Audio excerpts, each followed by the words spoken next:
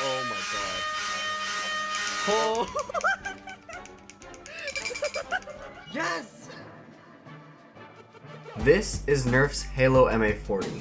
It's a semi-automatic motorized Nerf gun that unfortunately is about as strong as its in-game counterpart. Out of the box, this thing can barely shoot across my room. We're gonna make it a little better. Now I have two main design goals I want to hit.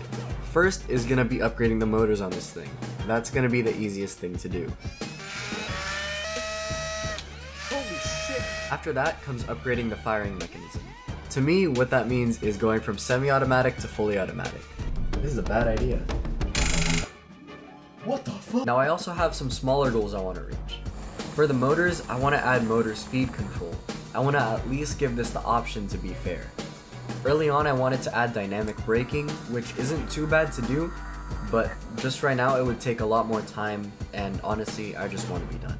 As for the firing mechanism, I want to have three modes of firing. I want to keep the semi-automatic function, but as I said, I also want to make this thing fully automatic. And you know, just because we can, we might as well throw in a burst fire. Now having all our goals lined up, it's time to get to work.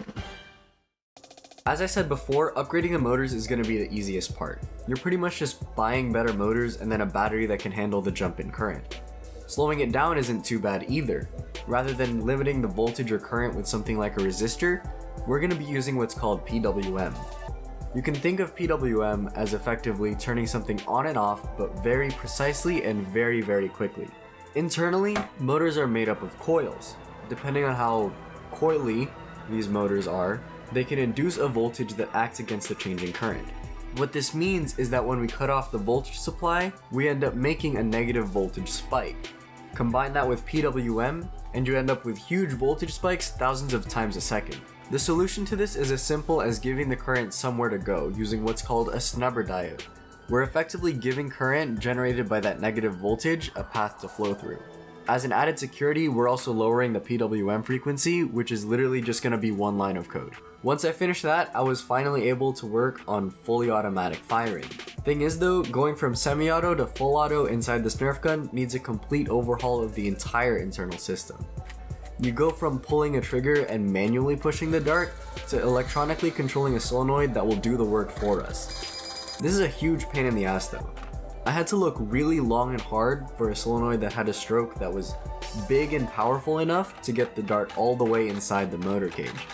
Not only that, I had to make sure it wasn't too thick of a solenoid, otherwise it would be too tight of a fit inside the shell and it might just split the shell in half. I finally ended up on this solenoid that had barely any information about it on the seller's page. All I knew was that it ran off of 12 volts. My battery supplies 7 volts. Don't worry though, we can get around this. That's that's what I told myself when I started. uh, see, there's some voodoo magic you can do to multiply that voltage to theoretically anything. The concept is to store charge and release it in such a way that the output voltage is higher than the input. This is much easier said than done though because that power has to come from somewhere. Having a high output voltage needs a higher input current than you would normally need. And it's these high currents that break all of our parts. I mean just just ask any of my four dead boost converters. I mean like this this last one this last one I broke just a few days ago. I mean just just look.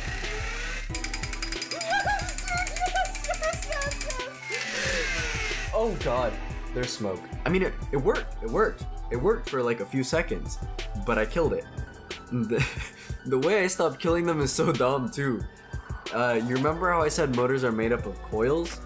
Solenoids are just one big fat coil with a magnetic rod inside of it.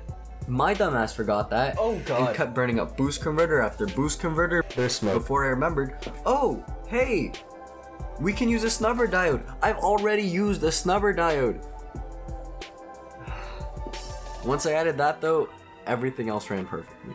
And here editing the firing modes is the easiest part. It's all done through the code, which I'm gonna stop showing because it's boring and anyways, this all relies on being able to use a microcontroller. I mean you could do it without one. In fact, like, my earlier prototypes weren't without one. They were using discrete logic. But using a microcontroller board like an Arduino makes it so much easier to tune, or in my case, to fix your mistakes. Once you do fix them though,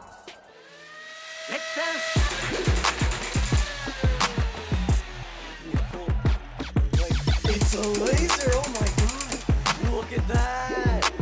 Look at that. like, That's so cool. That's so cool.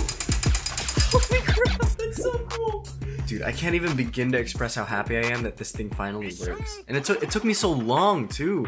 Between what, like seven minutes of footage is about seven months of work. Uh, I'm sure I could have finished sooner by waiting for someone to develop a kit and just putting that in, but honestly, I'm a lot more happy finding and piecing everything together myself. I was a little misleading though. I said earlier that I fixed the voltage multiplier situation. I didn't really. Uh, I ended up burning one more before I decided to just go the simpler route and buy two different batteries. Uh, not my favorite solution, but it works really well. Actually, you know what? I'm not gonna tell you it works well, I'm just gonna show you that it works well. For y'all who wanna see, here's a quick look inside. And this is where I put the two batteries, the solenoid, and the Arduino. But that's not what you're here to see, so I'm gonna take us outside and show you all the things this can do. First thing I'm gonna do is turn the motor speed knob. It's not too big of a deal, but I'm happy that it works.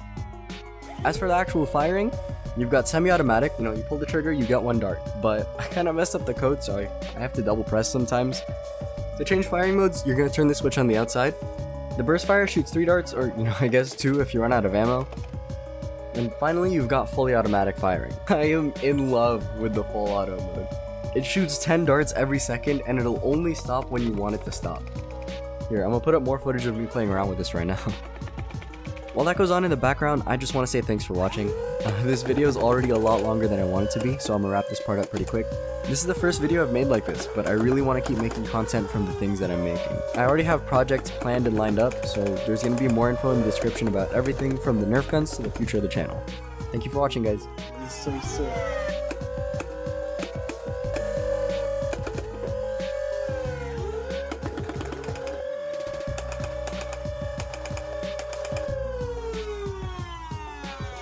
Issue is that I have no ammo like constantly.